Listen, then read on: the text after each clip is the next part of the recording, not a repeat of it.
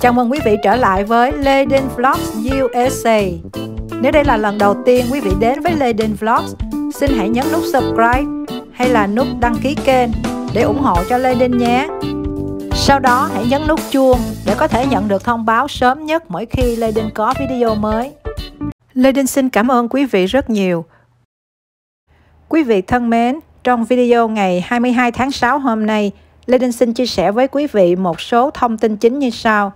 Những tiểu bang nào sắp sửa cắt tiền trợ cấp thất nghiệp vào cuối tuần này?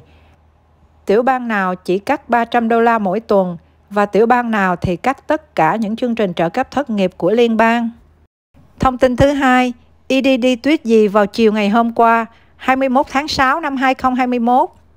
Thông tin thứ ba, đã đi làm part-time trở lại, có cần phải tìm việc làm và báo với EDD bắt đầu từ ngày 11 tháng 7 năm 2021 hay không? Thông tin thứ tư, không thể đi làm trở lại được vì phải chăm sóc các con. Khi trường học của các cháu đóng cửa vì đại dịch COVID-19, phải trả lời yes hay no ở câu hỏi số 3. Một thắc mắc khác, con còn quá nhỏ, không ai chăm sóc, vậy có được miễn đi tìm việc làm hay không? Thông tin thứ sáu, làm sao có giấy chứng nhận rằng tôi đã hết nhận tiền trợ cấp thất nghiệp? Sau đây, Lê Đinh xin mời quý vị cùng theo dõi thông tin thứ nhất. Những tiểu bang nào sẽ cắt trợ cấp thất nghiệp liên bang vào cuối tuần này? Quý vị thân mến, đây không phải là một thông tin mới mà chỉ là một sự nhắc nhở về thông báo của chính phủ ở một số tiểu bang mà thông báo đó đã được gửi ra vào tháng trước. Bắt đầu từ cuối tuần này, 26 tháng 6 năm 2021 hoặc là 27 tháng 6 năm 2021, chính phủ ở các tiểu bang này sẽ cắt tất cả các khoản tiền trợ cấp thất nghiệp của liên bang, thí dụ như 300 đô la mỗi tuần, PUA, PEUC hoặc là MEUC. Và cũng có một số tiểu bang chỉ cắt 300 đô la mỗi tuần mà thôi. Các tiểu bang như Montana, Arkansas, South Dakota, Georgia, Texas và Oklahoma sẽ cắt toàn bộ những khoản tiền trợ cấp thất nghiệp của liên bang vào ngày 26 tháng 6 hoặc là ngày 27 tháng 6 sắp tới. Hai tiểu bang Ohio và Florida chỉ cắt 300 đô la mỗi tuần vào ngày 26 tháng 6 năm 2021 và giữ lại các chương trình PUA, PEUC hoặc là MEUC đến ngày 4 hoặc 6 tháng 9 năm 2021. Điều này đồng nghĩa với việc sau ngày 26 tháng 6 năm 2021, nếu quý vị đang nhận tiền thất nghiệp ở chương trình UI thì quý vị vẫn tiếp tục được nhận. Nhưng nếu quý vị nhận thất nghiệp ở chương trình PUA hoặc là PEUC hay là MEUC ở những tiểu bang này thì quý vị sẽ không còn nhận được tiền thất nghiệp nữa mặc dù quý vị vẫn chưa tìm được việc làm. Sang phần thông tin thứ hai, Lê Đinh muốn chia sẻ với quý vị về các tweet mới của EDD được gửi ra vào chiều ngày 21 tháng 6 năm 2021 có liên quan với việc yêu cầu đi tìm việc làm của Sở Thất nghiệp tiểu bang California được áp dụng trở lại bắt đầu từ ngày 11 tháng 7 năm 2021. Trong tweet này, EDD nhắc lại rằng nếu như quý vị trả lời no cho câu hỏi quý vị có đi tìm việc hay không trong lúc quý vị làm certify thì câu trả lời này có thể sẽ dẫn đến việc EDD sẽ lên lịch phỏng vấn quý vị để quyết định quý vị có đủ điều kiện để nhận tiền thất nghiệp trong tuần lễ đó hay không. Nói như vậy, không có nghĩa là EDD bắt buộc quý vị phải trả lời yes ở câu hỏi số 3 bởi vì vẫn có một số trường hợp ngoại lệ cho phép quý vị không cần đi tìm việc làm trong thời gian này. Nhưng cho dù quý vị có thuộc những trường hợp ngoại lệ đó hay không, khi trả lời cho câu hỏi số 3, quý vị có đi tìm việc làm hay không, mà quý vị trả lời no, thì trước nhất hồ sơ của quý vị sẽ bị pending. Bước tiếp theo, quý vị sẽ được EDD phỏng vấn qua điện thoại. Và bước thứ ba, EDD sẽ xem xét câu trả lời của quý vị qua cuộc phỏng vấn để xem trường hợp của quý vị có là một trong những trường hợp ngoại lệ hay không. Nếu như quý vị thuộc một trong những trường hợp ngoại lệ của EDD cho phép không cần đi tìm việc làm, EDD sẽ xóa nút pending và trả tiền tuần lễ đó cho quý vị. Nếu quý vị muốn biết những trường hợp ngoại lệ đó là gì, quý vị hãy tham khảo thêm video số 364 của Lê Đinh hoặc nhấn ngay vào đường dẫn đang hiển thị ở góc phải trên màn hình của quý vị. Còn như quý vị không thuộc những trường hợp ngoại lệ đó, thì quý vị bắt buộc phải đi tìm việc làm mỗi tuần bắt đầu từ ngày 11 tháng 7 năm 2021, báo cáo việc làm với EDD và phải trả lời yes ở câu số 3. Rất nhiều quý vị đã đi làm trở lại part-time và thắc mắc rằng tôi đã đi làm trở lại part-time, như vậy có cần phải đi tìm việc làm nữa hay không? Có cần phải trả lời yes ở câu số 3 hay không?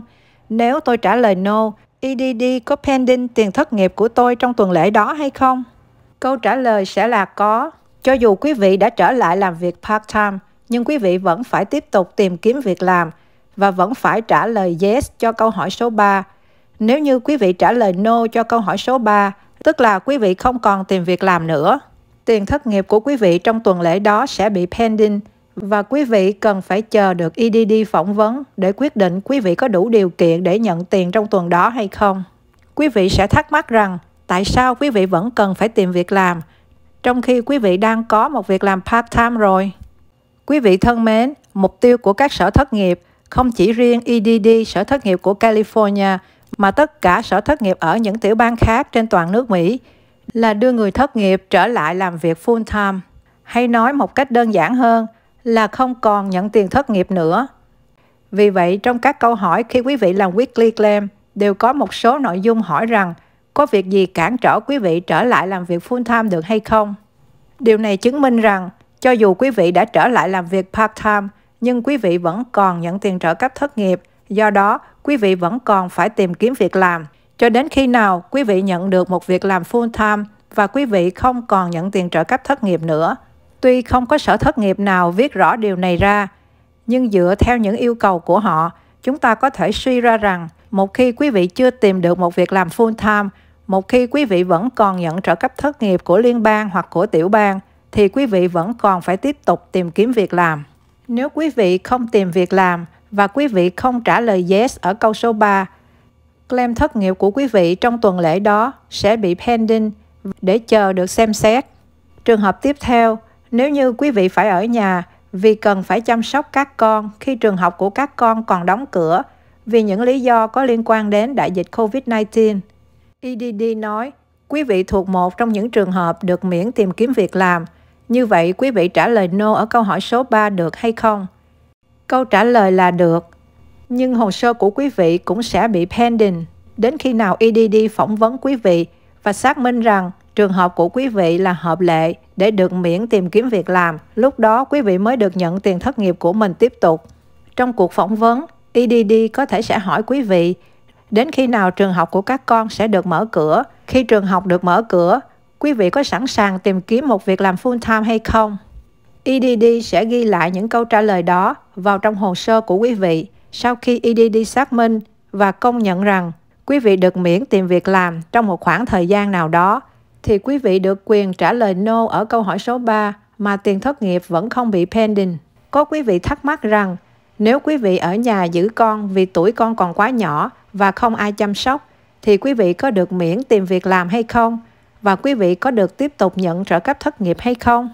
Quý vị thân mến, theo Lê Đinh, câu trả lời sẽ là không, bởi vì EDD chưa từng thông báo rằng quý vị được quyền miễn đi tìm việc làm và tiếp tục được nhận tiền trợ cấp thất nghiệp với lý do ở nhà giữ con vì con còn quá nhỏ và không ai chăm sóc. Nhưng nếu quý vị chứng minh được rằng việc ở nhà giữ con của quý vị có liên quan đến đại dịch COVID-19, thì đó lại là một lý do chính đáng để quý vị được miễn đi tìm việc làm mà vẫn tiếp tục được nhận tiền trợ cấp thất nghiệp. Quý vị thân mến, ở phần cuối của video này, Lê Đinh xin chia sẻ với quý vị làm cách nào để quý vị có được bằng chứng chứng minh rằng quý vị không còn nhận tiền thất nghiệp nữa. Thông thường, quý vị được yêu cầu phải nộp giấy này khi quý vị nộp đơn xin hỗ trợ tiền điện, tiền nhà, tiền nước của chính phủ để chứng minh quý vị đang gặp khó khăn về kinh tế. Quý vị có thể đến văn phòng của Sở Thất nghiệp tiểu bang hoặc gọi điện thoại cho họ. Trình bày với nhân viên Sở Thất nghiệp rằng quý vị đang cần tài liệu này. Người nhân viên của Sở Thất nghiệp có thể sẽ đánh máy và in ra một lá thư giống như yêu cầu của quý vị.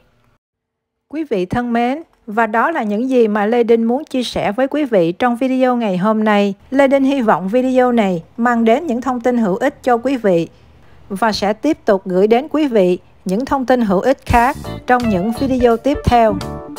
Vì vậy, nếu đây là lần đầu tiên quý vị đến với Lê Đinh vlog USA, Xin quý vị hãy nhấn nút subscribe và nút chuông để đừng bỏ lỡ những video đó nhé.